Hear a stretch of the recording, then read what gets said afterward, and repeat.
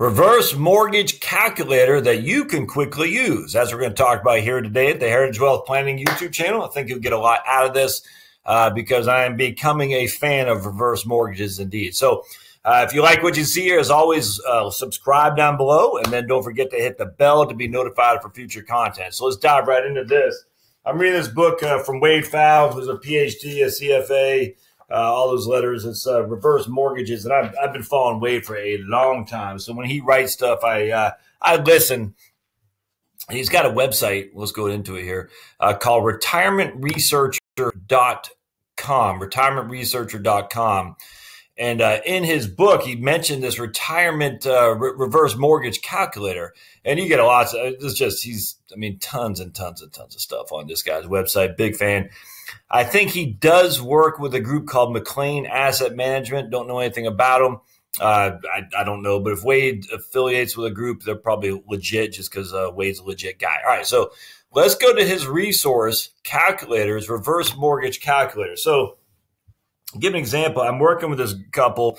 Uh, they're both 68 years old and they need other income. They need more income. All right. So this is, and I'm going to show you on a different, when I, I'll do another video when I actually do a scenario with my uh, software that I use. They're trying to generate about $500 a month uh, more of income. All right. So that's what they're trying to generate. And there's, there's their options are, are somewhat limited. And so reverse mortgage seems to be a pretty good option for them. And let, so let's go over Wade's calculator. A HECM, a home equity conversion mortgage, i.e. reverse mortgage, HECM for short. Um, this is based. They changed the rules pretty thoroughly in October 2017 to make the uh, the system a lot more valid, a lot more stable, which is good. Uh, and I'll I'll share why here in just a second. But this is updated for that for the 2017 change. Uh, if you're looking at, I don't know what other calculators are out there. Frank, I haven't looked. If Wade writes about it and he's got a calculator out there, this would be your go to for sure. But if you are looking at other calculators, you want to make sure it's updated for October 2017 rules. If it hasn't been, I would just refrain from using it because the rules have changed dramatically. All right, so let's go in these guys' case. Uh, again, they're both 68, and there's that's a reason that's important. They got 130,000 is their fair market value, their appraised value, however you want to say it. I'm not going to say assessed value. So you got your fair market value theoretically what you could sell it for. All right. Now that's going to be somewhat of a, it's hard to pin that down because everyone thinks they have the best home in the neighborhood. So your fair market value in your brain might be different than your actual appraised value. Your appraised value is what a uh, supposedly a fair-minded appraiser would give you for uh, would estimate your home's value at, and they're going to look at comparables in your neighborhood, comparables for your size of the house, all that. That's the best guesstimate for your value if you're not selling your house. The best guesstimate for your house value is someone who actually buys it. It's only as valuable as someone's actually willing to cut you a check. And that's, you know, capitalism one on one there. What's the value of X? Whatever someone's willing to pay for it. There's no other way around that. But because you're not trying to sell it, we have to appraise it, and that will go to part of your closing costs. And as I don't know if you've ever been through an appraisal, you got to make sure they know what they're doing. I, I, some of these appraisal companies just it's they uh, anyway. Just be careful. All right. Uh, but it is going to come out of your closing costs for sure. All right, so we have appraised value. What's an assessed value? We're not looking at assessed value. That's what the county uses to give you your taxes on your real estate. And the, assessed value is always going to be low because that way they can feel like they're not taxing very highly and get reelected. So just from uh, some counties, the assessed value are close to the appraised value to the fair market value, but you're not talking assessed. Don't go to your uh, county's website the GIS, uh, uh, Geographic Information System thing, look up your property and see what their assessed value is and use that here. That, no, no, no. We want to use an appraised value. All right. So here we're going to say an appraised value of 130,000, which is what they told me. They got to use a 10-year LIBOR swap rate. And nice thing about Wade saying uh, he is updates automatically. So uh, this interest rate is used in the calculation to determine available credit through the HECM. Last update was 10 4 2018, which is what? Uh, that's today. So that sucker updated early this morning. Wow. All right. That's good. Lender's margin. All right. This is the amount of money the lender is going to make off your debt, essentially. This interest rate would be provided by the lender as part of the terms of the proposed loan.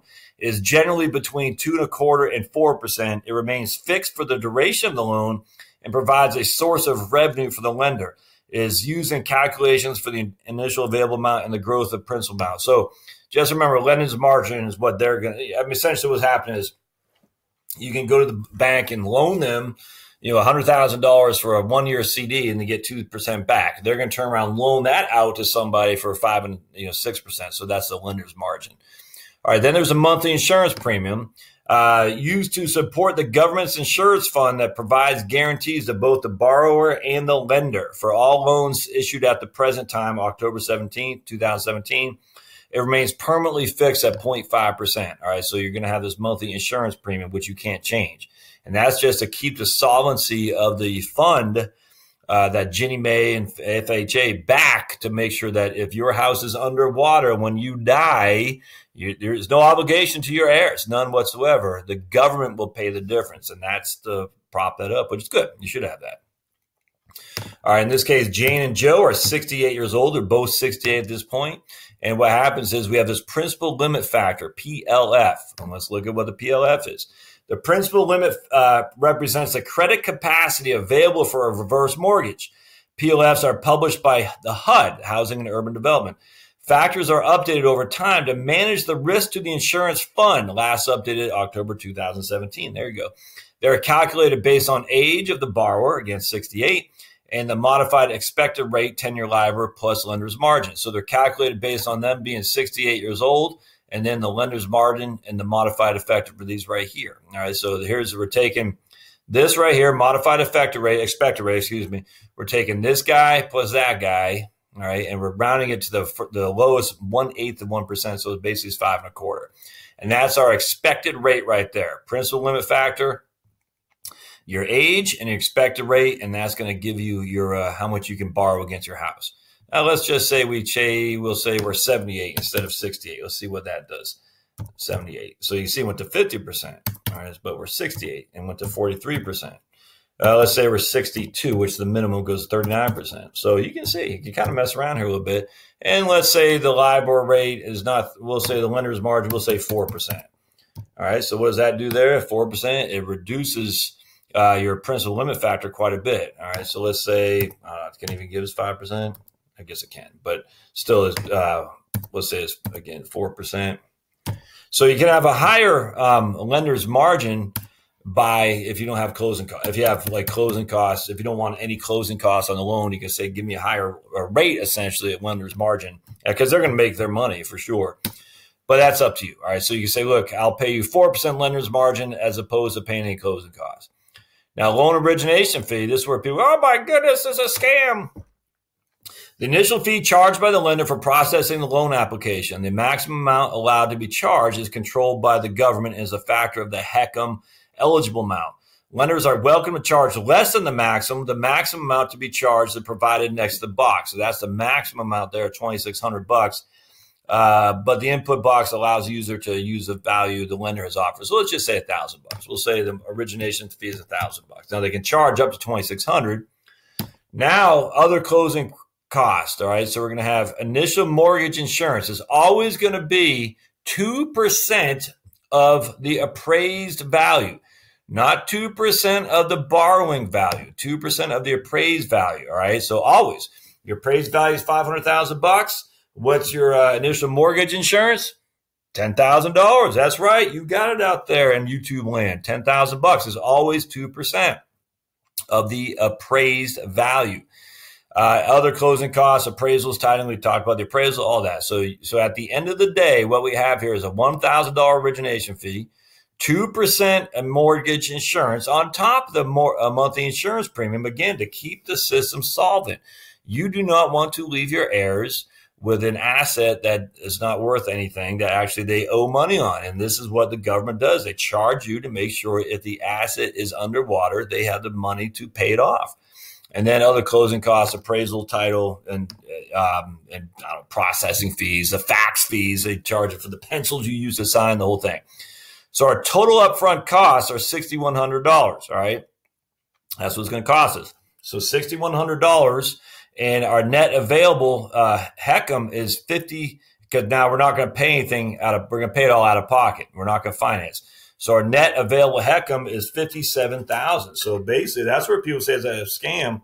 You're taking 6,000, 57,000, 070 divided by 6,000 and you're uh, it's nine point five percent total, essentially upfront cost. Uh, you know, so that's not cheap. No other way around that. Now, if you want to finance it, let's say we're going to finance it 100%. That changes, oops, uh, that goes to 50,000. So see how we did that? We're financing 100% of the HECM cost, 6,100. So no out of pocket. But if we don't finance it, it's 57,000. So you get that. I am going to finance this actually 100 because the whole point about these guys doing is they don't have the cash flow. Uh, and repairs, we're not paying off any debt because they own the home free and clear. So you can actually do that right there in terms of debt. So they have $50,100 available to them. Now they can take it out as a tenure payment or they can take it as a term payment or they don't have to take it out. In this case, you want to generate income. We're trying to generate $500 more a month. So if they take it out as a tenure payment, the monthly and annual amounts of tenure payment, which is lasts as long as the borrower remains eligible for the loan. That says, i.e., they die or they forget to pay their property tax and they get foreclosed on. And again, it has nothing to do with the HECM, the reverse mortgage, uh, not paying your property tax. Even if you don't own a mortgage, you're going to get not foreclosed, but the county's going to come, the sheriff's going to knock on your door and put you out eventually because they're going to say you got to pay property tax. All right. All right. So that's the so they can say essentially say as long as they're alive, Jane and Joe, they'll get two hundred ninety three dollars a month for the rest of their life guaranteed. All right. There's no, I mean, it's just there's there's no ish, if ands or buts there. They will get two hundred ninety three dollars for the rest of their life guaranteed, as long as one of them is breathing, which means it's thirty seven hundred bucks on. I think it's going to be on that amount right there 3717 divided by 5970. Yeah, so it's uh oh that's not right. So it's going to be on the total amount. Actually, let's see. 50 uh yeah, it was uh 3517 divided by I bet basically 50,000. Yeah, okay. So basically it's going to be they can take $293 amount off that amount, but when you factor in your payout rate, it's 3717 off the entirety of the initial balance because we're financing the loan. So it's going to be off this fifty-seven hundred, fifty-seven thousand dollars. So essentially, they get a loan of fifty-seven thousand bucks, a, a, a line of fifty-seven thousand dollars. They're taking two hundred ninety-three dollars a month off it. That's a payout rate of six point one six, which is pretty good, tax free, tax free. Now, if they want to do a specific term, twenty years, they'll get paid more uh, simply because after the term it stops. So let's click on this guy right here. The number of years you want to receive term payments, if the number of years extends beyond age 100, you would automatically be switched over to tenure, which is essentially like a lifetime annuity. So I like the uh, lifetime annuity thing here, which is a tenure payment, simply because we know as long as one of us are living, uh, that's the amount of money we're going to get. So that's, you know, we'll just say $300 a month, tax free to these folks. And again, they need 500. So that goes a long way towards that for sure. Absolutely. In fact, if they wanted, they can do a term. I mean, we could make a 15 year term And it gives a 424. I, I, I, actually I like the 10 year one better. Now, a couple of things going on here is that this they don't need they can stop they can take whatever they want. This is not it's not like an income annuity where it's um, uh, irrevocable. They can stop, don't pay me anymore. They can pay money back if they want. They don't have to. They can do whatever they want. They can turn it on, turn it off. It's completely up to them. It's completely tax free.